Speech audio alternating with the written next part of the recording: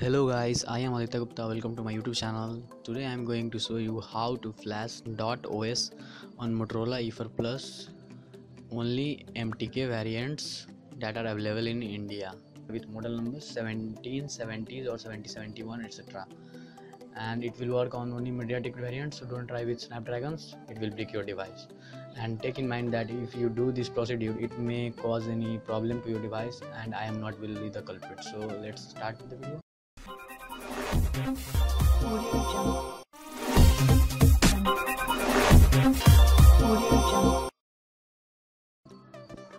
So now guys you can see this is the motorola e4 plus. So you can see this is the motorola e4 plus mtk variant. So now and yes guys do take in mind that you need the bootloader to be unlocked and a custom recovery that may be a TWRP or any other. I have made earlier videos on that. You can watch that for installing TWRP so after that you need to turn off your phone and after turning it off you need to open up in the recovery mode. So now you can see i am going to open the phone in the recovery mode by pressing the volume down and power button at the same time. Now you can see we are in the recovery mode. Use the volume keys to navigate between the options. You can see there is a recovery mode option. After seeing that option click on the power button to select it now our phone is booting into the recovery mode. It will take some time. Now it has been booted. And you can see it is a TWRP recovery.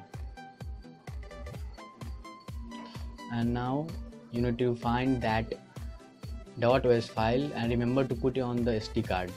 I will put the download link of that ROM because if you not put it on the SD card it will be erased because we need to wipe the data on the internal storage in order to flash the ROM. So now you can see first you need to take a backup of your ROM. If anything goes wrong you have the backup so you can restore it further. So now I am taking a backup. It will take around 3 to 4 minutes or more than that depending on what are the options you are choosing to back up. See it is backing up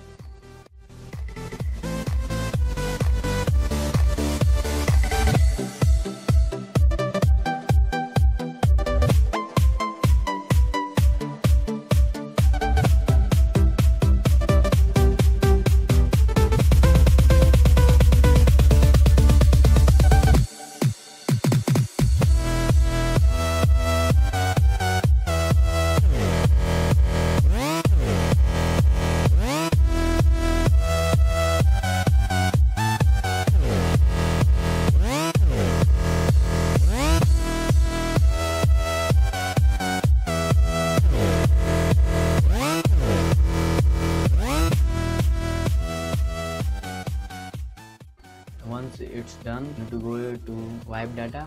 And after going to wipe you need to select advanced wipe and data cache data.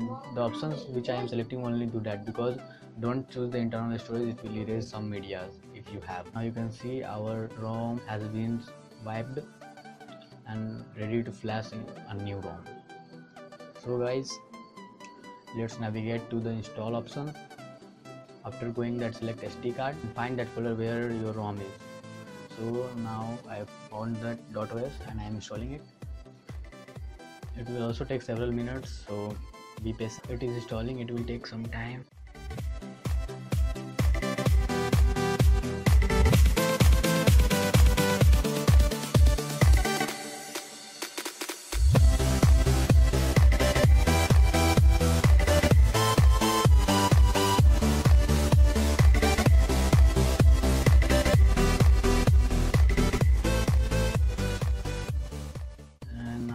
done installing and now you need to navigate to the google apps which will which i also will provide the link in the description because you need google apps in order to use gmail etc so i am going to flash it.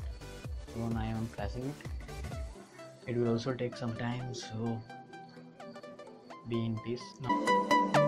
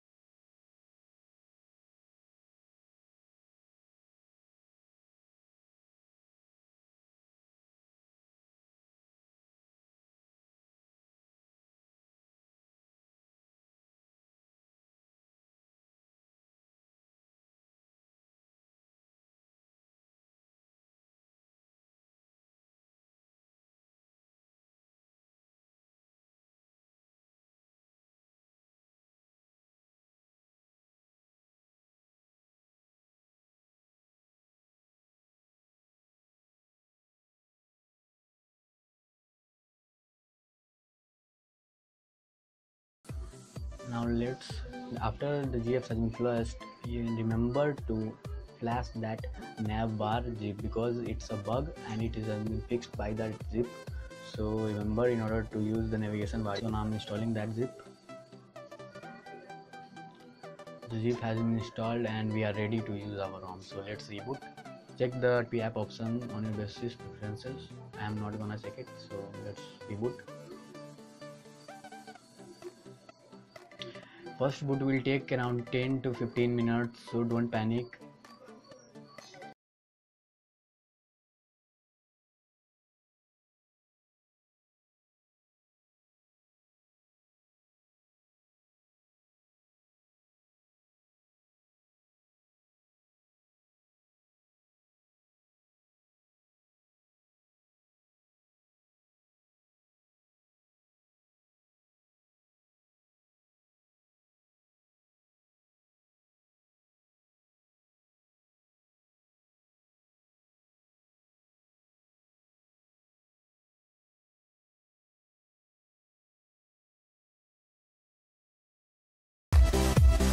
now you can see guys our rom has been successfully booted up so let me set up this i will be right back.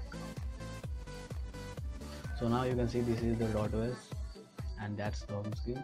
Let's go to the settings.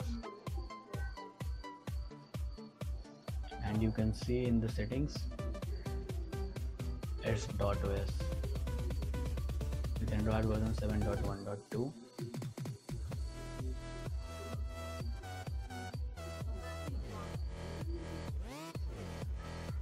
and remember guys it, this rom has a minor bug that is the VoLTE bug so you will not be able to place call directly from that phone dialer on Jio and you can see there are lots of options for customization.